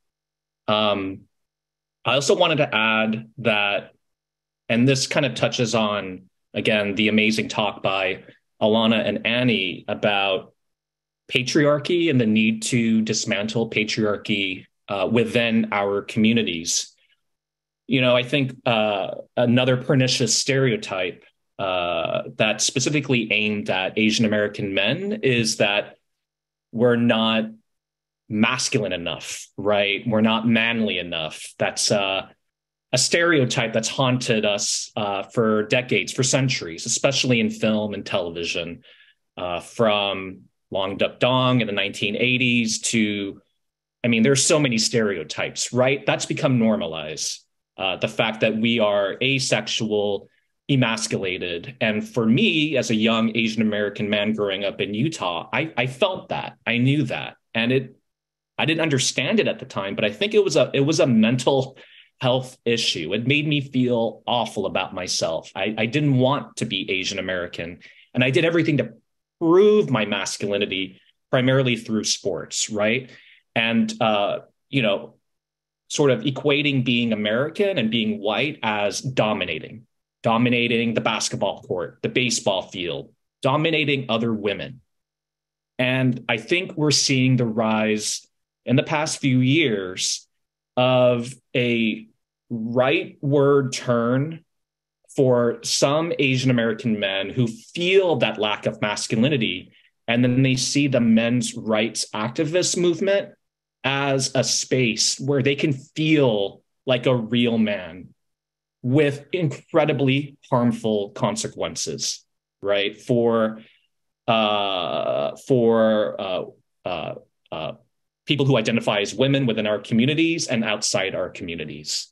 And so I think uh, as as cisgendered men, we need to really pay attention to these harmful discourses so that we don't perpetuate patriarchy within our communities, within our families, because it could be so destructive. And to show other models of masculinity that there's not just one way of being a man, uh, but that I think there are models within our families, within our communities that emphasizes uh, collaboration, collectivity that moves away from individualism, that says it's okay to cry, to be vulnerable, to be empathetic, to go to therapy. It's okay to go to therapy. Actually, it's great. I go to therapy. I love therapy. I can't get enough of therapy. Uh, and I think we're seeing more of that in uh, film and television a little bit. Uh, I think we need to lift that up more. I think Jeremy Lin is actually a great example of uh, an empathetic, Asian American masculinity, right? I think he's cried in, in, in press conferences, and he was he received a lot of flack for that, for just sharing his emotions. I think we need to honor that kind of masculinity uh, within our communities. Fantastic, Terry. L- Lily, you had a comment, and then we'll go to Patty. Yeah, I'm so sorry. You can tell. You know what? I wanted to pick about what Terry said. You know, Simu Liu came to your summit, right? So he was so open because I cannot emphasize enough the breaking the silence. He would just, I think he say something along the lines like, you know, my parents, you know, this and that, and I just go to therapy or just make it very light. I said, oh, that's Simu, you go. You know, I think it's really important because I have a son too, right? So we don't want to that. I think we all our emotions. It's okay to feel sad. It's okay to cry. It is okay to let your, you know, I was talking to Anthony. It's okay to feel angry. We are entitled to have feelings, emotions, even though we may not have the language to describe it. But it is normal. We recognize that, and that's great. Sorry, that's it. That's actually a wonderful addition, Lily. Thank you both for being so honest and open and um, persuasive to to our community listening that we need to take action. Um, here's my comments on on a few things. I think um, we are getting to a point where everything personal is political, and every one of us has a responsibility to take some action, whatever that may be. Um, you know, I think I, I, agree, Lily, totally. We need more resources. I also think that we need to be a little bit more imaginative about what we can do locally. So, one of the things I'm going to challenge all the library people, because there's going to be a lot of library people in the audience to do, is to think about organizational change. We need, as a community, to be youth development organizations. We cannot rely on other people alone to take that responsibility on. Every young person is an at risk person, and they need to know that we are there to support them. Um, you know, it could start with something as simple as you know, looking at the 40 assets and actually being mindful that that young person needs if you could just remember their name if you could just smile if you could just make sure that they feel connected.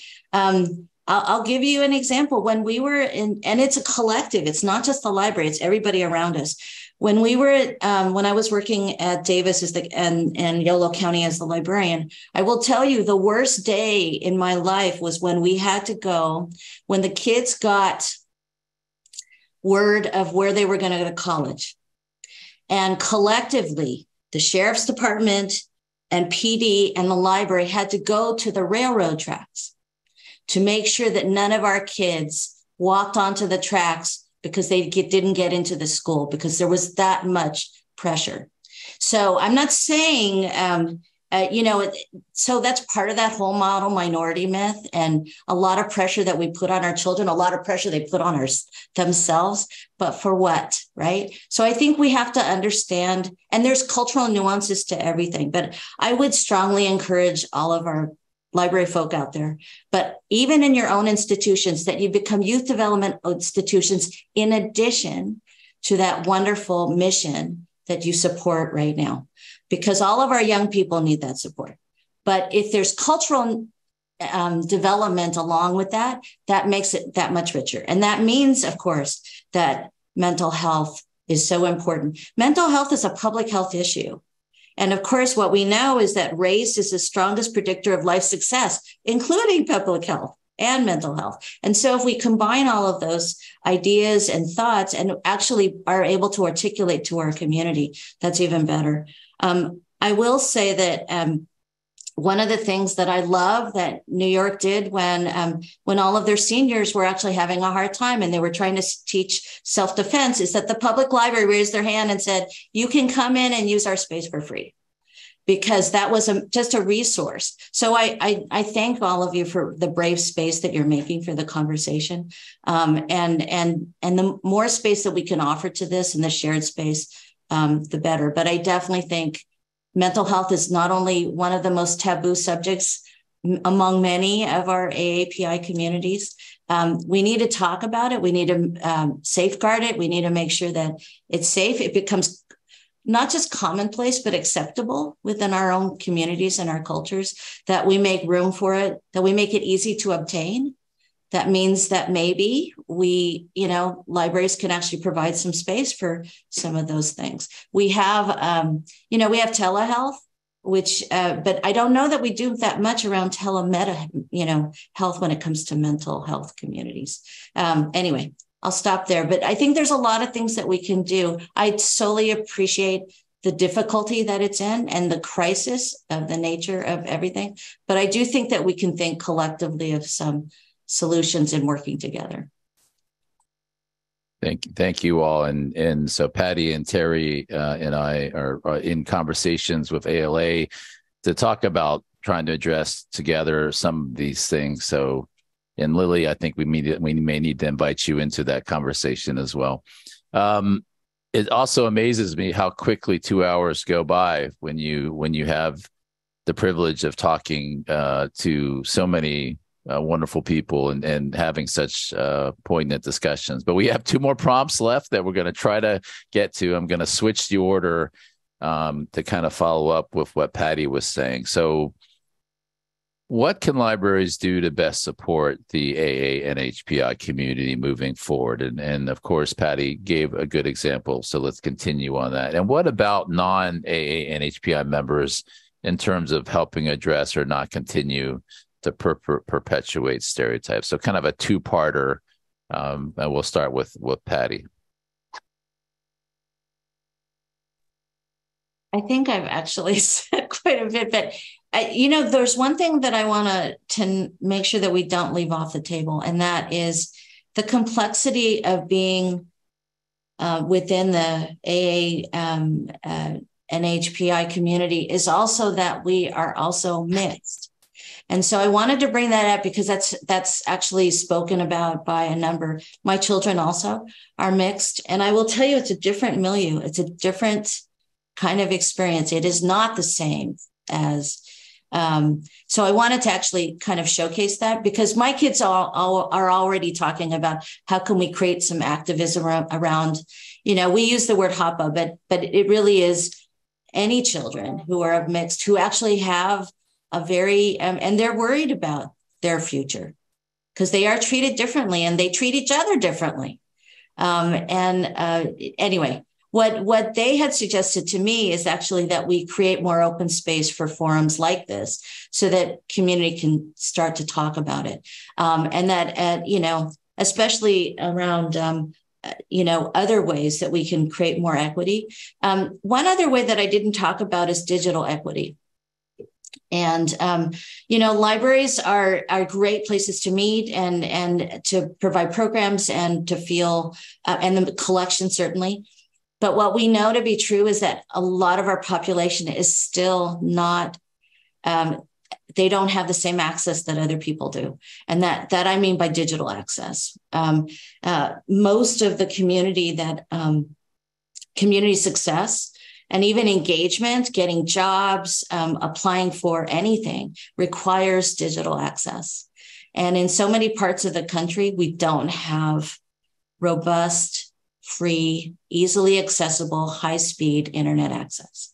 And I know that um, that may not be on, on the top of your thinking about what libraries need to do, but the, it is on my part uh, that digital equity is key to the success of our community and especially around our AA uh, national um, Native Hawaiian and Pacific Islander community. So um, I hope that libraries will continue to expand the the, the and bro- the broadcasting um, and also the um, access to materials and equipment um, in, in such a way that is also culturally resonant um, and also uh, equitably based. We need to find out where those holes are in our community to make um, inroads and to be right there to provide the resources and to advocate for that at all levels. So that's just another way. I'll pass it on. Thank, thank you very much, Patty. Uh, Terry, Lily?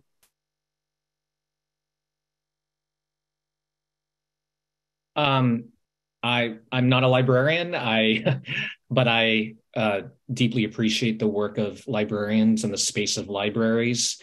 Uh, everyone here.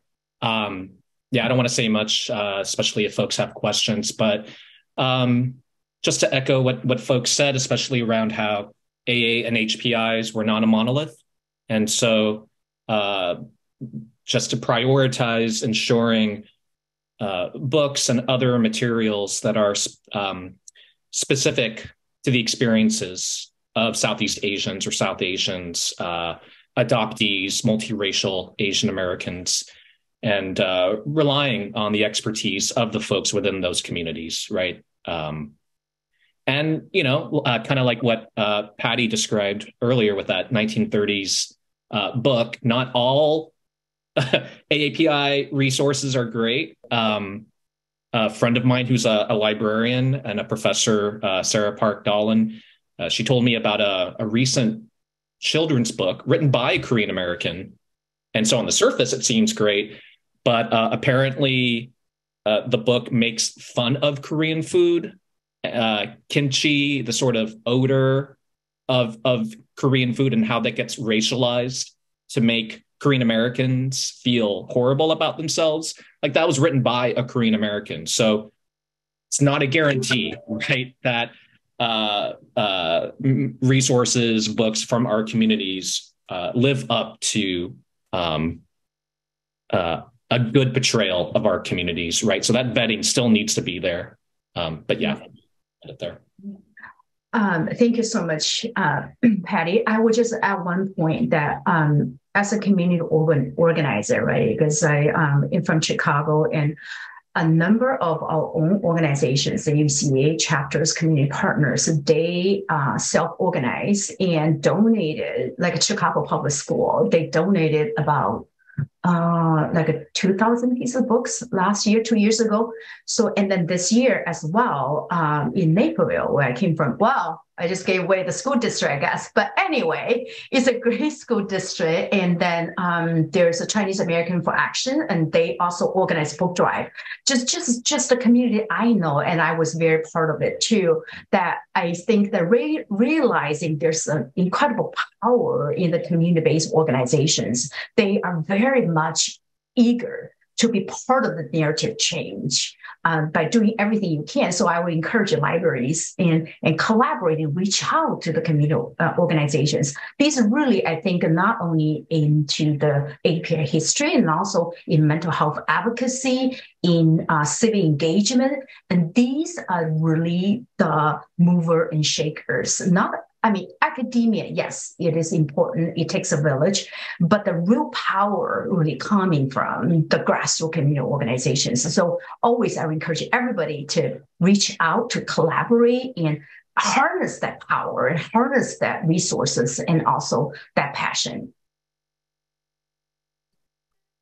Wonderful. Thank you, Lily. Thank you to all three of you. So final question uh, really quickly, then we can entertain some questions is, so, to all the non AA NHPI members that are here now or or will watch the recording, what what do you want to know? What do you want them to know about you and the community? What are some leaving thoughts that you might want to impart to non AA NHPI people? And we'll start with Terry. Uh, is that question about us specifically or us as a community? Well, I'd say uh, uh, you first, and then I think as a as a community um, from a you know a non-member, what what would what would be some kind of leaving thoughts you'd want to share with them? Um, I mean, one thing that pops up is even though I identify as Korean American, Asian American, even though I have a PhD in these things, I don't know everything. I don't know uh, everything about Korean America. I'm still learning, and that there are different ways to be Korean American, different ways to be Asian American or Pacific Islander, and it's constantly unfolding. And I think that's the exciting part is that we're always redefining the project, and it's a political project of Asian America, Pacific Islander. And I think that's the uh, the work of librarians. Uh, I think it's the work of all educators. I think it's the work of artists right? To really push the boundaries, to question the terms of what it means to be Korean American, Asian American, et cetera, um, so that we're constantly constantly centering and uplifting those uh, identities that are marginalized, queer identities, uh, disabled identities, uh, et cetera, within our own uh, communities. So I'm an expert, but also not an expert. There are you know lots of experts within our uh, communities, and um, yeah. Thank you, Terry. Uh, Lily, Patty? Um, I would say that I really appreciate Annie and Lang talking about as a uh, AAPI women leaders, and I cannot emphasize personally the importance of self care because we needed to uh, have self compassion, and so that when we are full, and then we can extend the grace and compassion to others, especially doing this very very difficult work. Sometimes it can be very discouraging extremely challenging. Um, so take care of yourself. Um, on the community level, I um, I will really, really, really wish everything we do, we can have a very strong coalition that we can be very inclusive of all the sectors that involve so that we can only be stronger when we are together. So conversation like this, I think this is a, such a powerful statement of that uh, coalition and that kind of conversation. I think that not only that, it's going to be so much um, more effective, efficient when we not reinvent the wheels in, in every sector. So that's what that's something I know that is tall order and it's so much easier to say than done, but it's still my hope and dream. Thank you, Lily. Patty? You know, I, I, I lean into a little bit of what when Alana and Annie were talking earlier and asking us how we felt at the beginning of this. Um, and I, I, w- I will say part of me is questioning all the time, but I think one of the words that I would use again now is not only passionate, but um, uh, invigorated and um, feeling very positive about the work that we've done today because it is work.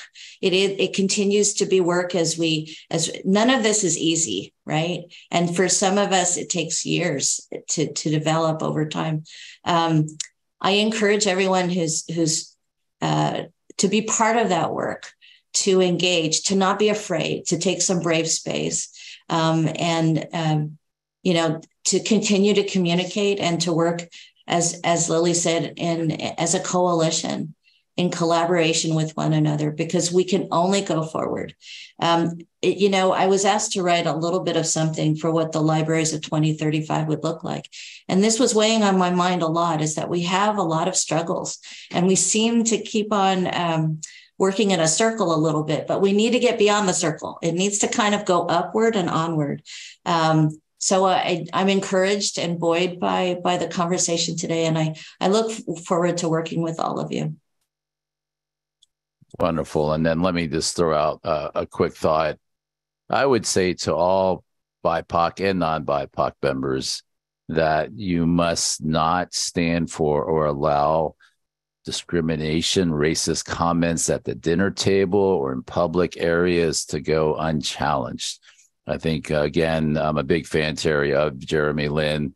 He shared uh, examples of how, as a Harvard basketball player, he would be at the free free throw line, and racial epitaphs would be thrown at him for everyone in the gymnasium to hear, and nobody said anything. And I also played basketball, not nearly as good as Jeremy Lin, and that happened to me as well. And at that moment, I lost a lot of respect for my coach and my players for not standing up for me when that happened. Right. And so that, that's, that's what I would say is that we all can work together, but definitely the majority in particular, you have the power to stop it if it's happening, because it's very difficult if you are being the victim to say anything at the moment. So with that being said, I want to give, uh, please let's give everyone a loud um, a round of applause. It's a, uh, a, digital round of applause for all of their time uh, and expertise. Uh, I can't uh, thank everyone for their time, their energy, and I think as Patty said it best, it's it's it's it's work, right? And I think we all feel both excited but also probably tired because of all that we shared uh, today. Uh, also, want to thank all of our hardworking and dedicated staff that make this possible. Um, Vivian Zuo, our events coordinator, Alfredo Alcantar, who's with us, and our campus administrator and Zoom guru, Iori Tokunaga, who is our EDI staff writer, uh, student writer, Steve Hargadon with Library 2.0, who shared this with his uh, massive following, Nicole Purviance, our director of marketing, and their significant role. It's important to also illustrate how much of work goes into trying to make sure we have successful gatherings like this. So thank you for joining us. The full transcript and recording and summary of today's event will be posted soon uh, in our EDI library. Uh, also wanted to share with you uh, three events coming up. So Pride Month, uh, led by keynote speaker Deb Sika, will be Wednesday, July 5th from 10 a.m. to 12 noon. Juneteenth Day, which will be June 20th, actually, uh, will be uh, po- uh, poet, history, historian, scholar, advocate Benny Tate Wilkin uh, on June 20th uh, from 10 to noon. And then finally, uh, our Hispanic Latino Symposium will be led by Loida Garcia Febo, also a former ALA president. Final note um, in order to support EDI, you must allocate time and resources to doing the hard work to make it a reality in your respective environments. If you have some privilege, use some of that privilege for this. It, it's not easy at all, but well worth the effort to attain a higher level being together for us. We cannot and should not remain silent. Racism towards us is really not our problem, but the problem with the perpetrators themselves. I do think things are getting better but more work must be done. We are one of the most diverse nations in the world, and the positive sides of this far outweigh the negative. I ask that all of us continue to use our voice and actions to help make the world a better place for us. Thank you again for joining us. Our future, your future is in your hands and shape it as you would like to help to make a better place while you're at it. Have a wonderful day. Thank you.